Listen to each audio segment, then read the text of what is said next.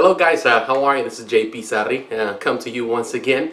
Uh, today I have, uh, in this vlog, I have a lot of things to talk about, a few things that I think are very important, and I'm sure that you share the same sentiment with me. Uh, first of all, I want to talk about, um, probably if you follow me on Facebook, or if you talk to me or share with me on, on Facebook groups, you know that um, in, uh, in a previous video, actually, I, I mentioned that a friend of mine, Tony, uh, Tony LaPrince and I, we've been involved in, in, uh, in the creation of um, 1 6 scale Sabretooth. And definitely for months we've been dealing with this, we've been talking about it, uh, you know, we were planning about it, we were talking with Erick Sosa, he was helping us and he's helping us. And finally we were able to get the final uh, design and we were very excited about it. Um, definitely we are so happy for this. Uh, we continue on, we just finished the first part, that's the design part, and now we're going into the in this case into the printing of the prototype or you know for, for, for this piece that we want to build for ourselves.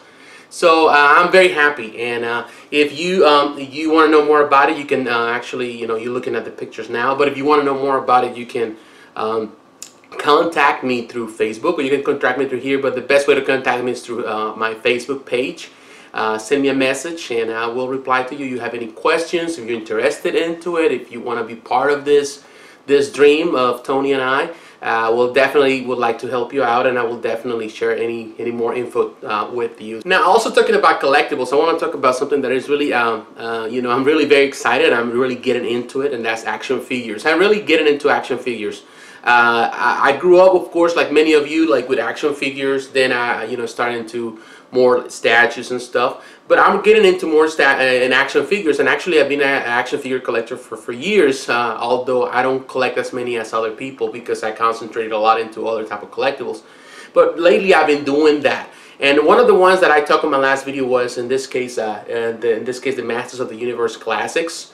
And also, um, you know, I mentioned concerning the, the new Filmation style um, you know, uh, pieces for that collection for the, the, in this case for the Masters of the Universe. And the first piece in this case would be, uh, it was uh, He-Man. And all, actually, I'm so, so excited. It's a very nice looking piece. Uh, sadly, I was unable to get it.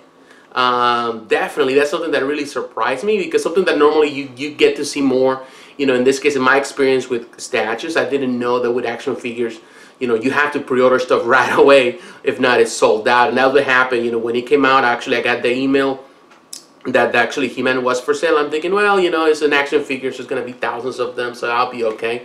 So they say, you know, like, you know, it's time for you to buy it. And actually, I got the email. I didn't buy it. And in 10 minutes, it was completely sold out. And now a lot of people are just going crazy about it. Uh, going in the aftermarket market, there's one thing that I can say about Matty Collector that I think they're not doing right is that they allow people to buy up to 10 or more. So of course, a lot of people were buying pieces left and right because the price was okay. It was around 30 bucks, which is very affordable. Um, but you know, they bought many, of course, and now they're reselling online. So uh, some people came to me and asked me, you know, what to do in a situation like that. To buy it, you know, if go and buy it on, on eBay or just wait for a reissue piece. And I said, you know what, just wait for the reissue. Uh, I definitely would not pay, you know, like three times the amount for a piece of, for an action figure. Uh, that's my opinion. Um, you know, you know, it happens. You know, like every in, in any other type of collectible world, you're always gonna find those people that they just like to snatch stuff and resell it. You know, for more. Uh, sadly, that's the way collectibles work. You know, that, applies for any collectibles, comic books, you know, art prints, uh, statues, you know, like you name it. It, it applies, and the, the, same rule applies to everything. Uh, but I would say just wait because, you know, Master of the Universe, the, the, the classic, another 2.0, uh, the previous um, collection, they reissue many of those figures. Uh, of course, He-Man is one of the most popular, and that will definitely will be reissued. So I would say just wait for it. Um, but I learned my lesson with that. Next time something else, like the, I know the next figure that is going to be uh, come out for sale is going to be a Skeletor. I'm just going to just buy it right away. Now talking about uh, in this case entertainment and movies, uh, definitely one of the ones that I'm really uh, one of the trailers that you know probably came out probably two weeks ago. It was uh, the Ghostbusters uh, 3. in this case, I'm very excited for the movie in the sense of I'm happy that we have a Ghostbusters movie. Uh, now, I know there's been a lot of hate and a lot of discussions online concerning the, That a lot of people were saying, you know, it's sad. You know, the, the trailer was bad. The the cast is trashy. You know, McCarthy is not a good actress or whatever. You know, it's uh, so much hate concerning that that, that definitely kind of takes away from the joy of having another Ghostbusters movie. Yes, I can say one thing. The trailer was okay. Uh, part of the story is predictable. It's kind of like a copy uh, version, a copy paste of what you know the previous um, you know movie was, and maybe that's the reason why a lot of people are disappointed. And yes, I think it's disappointing that they go that route. But at the same time, we have to understand this: this the original Ghostbusters came out uh, many years ago, back in the 80s. Uh, so a lot of people they, they didn't even experience that movie uh, the way I experienced it when I went to the movie theater for, and watched both movies. So you know it kind of gives at least something to a new generation to watch. Uh, a lot of people say, well, you know, they, they cannot replace the originals and blah, blah, blah. I say, of course, they're never going to replace the original. I think that's the stupidest comment uh, I normally read from people. It's like, you know, the, the original were the best, you know, the best. And I say, you know, of course, the original, nothing beats origin, uh, original stuff. You know, it's just the way it is, you know, and when people talk like that, reminds me that people sometimes are very close-minded and they don't see the opportunities to, you know, to increase things, you know, of course. You know, the original stuff is the best, you know, but, you know, we want to see more, you know, and I think this franchise was on, you know, on stalemate for so long, was just sitting there without doing nothing, and the fact that now it's coming back, I, I give it a chance. The movie might not be the greatest, but you know what? It's just another movie. And probably, you know, opens the door for more Ghostbuster stuff and to see more Ghostbuster stuff in the future. Now, another thing that really is exciting is the fact that we're going to have, of course, you know, we are just probably two weeks away, maybe, or less, uh, to see Batman versus Superman. And definitely, I'm very excited about the movie.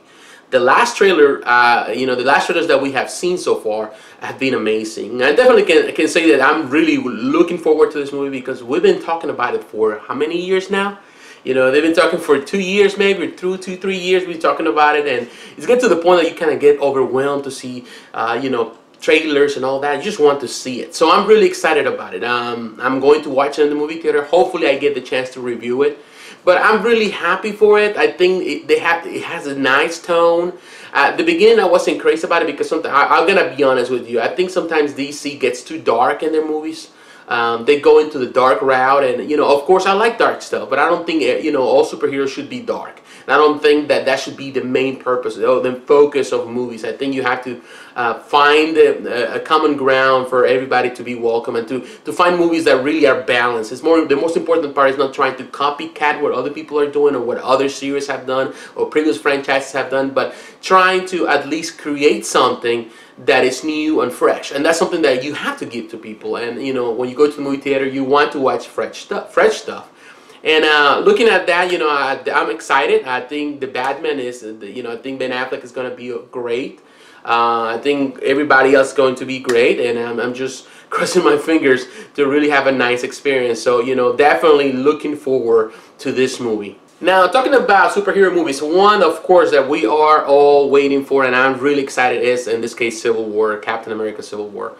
Um, there's been a lot of talks lately because of the last um, trailer that we had and definitely was a fantastic trailer.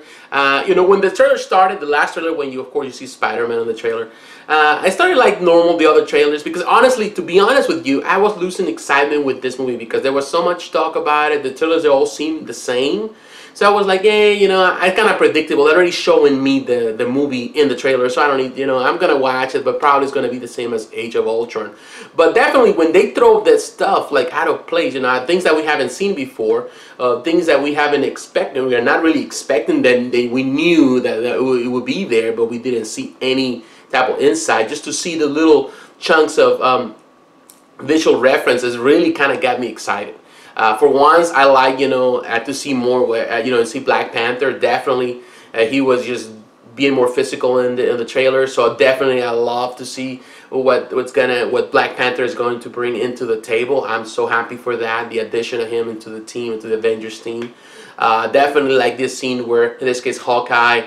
Um, destroying his arrow, you know, and of course he has Ant-Man. It's a classic, you know, cover. Uh, for those uh, comic book geeks like myself, you, you know which cover I'm talking about. Um, then of course you have uh, now at the end, of course, you know, have the addition of Spider-Man. And the sad part is that there was so much hate, and there's so much hate um, online concerning uh, the addition of Spider-Man just because people are not happy with the eyes and, and, the costume. And I think that's the stupidest thing, you know, and I went into some discussion with some people in some um, Facebook groups, and definitely sometimes I, you know, I remind myself, say, you know what, you know, just let it go. You know, people, they just are people. Everybody has an opinion. Everybody has a, has a right to have an opinion. But what really gets on me, gets to me, is that the fact that some people, they just go on and on and on and saying, explain, explain themselves why something should be this way, the way they want it. And I'm saying, like, you know what? You have to respect for what it is. I respect Marvel for what they're doing and for what they have brought to the table. I respect Marvel for what they have created for us. They want to also uh, give praise to the one, the, the, original creators, and I'm very happy for that. Uh, when I see those eyes, I, am reminded, of course, uh, uh, that that's the more generic Spider-Man that everybody can can everybody knows. Uh, in this case, uh, to me, it's like a pays homage in this case to people like Steve Ditko, um, like Romita Sr., uh, people that have been very important in the creation of Spider-Man. One thing that is exciting me a lot, and you can see right here in this, is Daredevil. Uh, the second season of Daredevil on Netflix, I'm so pumped for this. I'm very happy. The trailers that we have seen are amazing. I'm happy the way Marvel and Netflix are working in this together. They are really, really giving it uh, thought to every single thing. The, the, the process that they're doing with this is fantastic. Uh, of course, we ha still have to watch it. Uh, season 1 was fantastic in my opinion. It was a 9 out of 10 for me. Loved it, every minute of it. Uh, if you are a fan of Frank Miller, of course you have seen my review in this case of the Daredevil Frank Miller Omnibus. You know that, of course, I'm a big fan of it, and you know that actually, um, uh, in this case, uh, the Punisher plays a big part of this uh, this um, this this series. So now that he is brought into the into the fray, and also we have Elektra, uh, and we have the hand, and we have a lot of things, you know, and it's just fantastic to see all that in this in the in this case the small screen. Uh, and I'm very happy for it. I, I, I, hope that you know we can get to see more. Uh, the news that we're gonna have Luke Cage very soon is, is fantastic. Uh, I did watch uh, Jessica Jones. Uh, I think a lot of people love Jessica Jones. I, I'm, I was okay with Jessica Jones. I wasn't crazy about it. There's a lot of great things about that show. There were a lot of great things, you know, visually. It was fantastic. There were good elements that I really liked. There is a, uh, but definitely there were all the parts that I wasn't crazy about, and I think a lot of people were overpraising, especially people that are not into comics, you know, and they're more into, you know, you know, just watching TV shows, and that's okay, you know, because everybody can come in to watch this type of shows, and that's something that is I, am happy when the studios they also bring stuff for everyone, and of course Jessica Jones is, is part of the story of, of, the Marvel universe, but I, I wasn't too uh, involved. I didn't feel it. I, I, was part of it. Of course, the Devil, you know, it's a big part. I, I think I feel more um, invested into this show, of course, because I love Daredevil since I was a kid. Uh, I cannot say the same about Jessica Jones or even Luke Cage. But um, we'll find out. So I'm very happy. Uh, it's very exciting. The trailers have been amazing. So I'm looking forward to that. Uh, it's coming in the 18th, so that's coming what on the weekend on Saturday. So I'm ready to binge that. I don't like to binge stuff. My wife loves to binge a lot of stuff. I don't. But when it comes about this type of stuff, of course, you're gonna see me watching it and hopefully I can get a review for you and um, you know we can talk about it and you know we can just discuss and have fun with it. So you know this is it. You know I'm really happy for what I what this year is bringing. Uh, there's a lot of great things happening and hopefully we can get to see more uh, movies and we can get to talk more about a lot of things. So once again, I thank you for spending the time with me. Stay tuned uh, for my reviews, or stay tuned for you know for this blogs, and stay tuned for more. So once again, thank you, and I'll see you in the next one. Take care, my friends.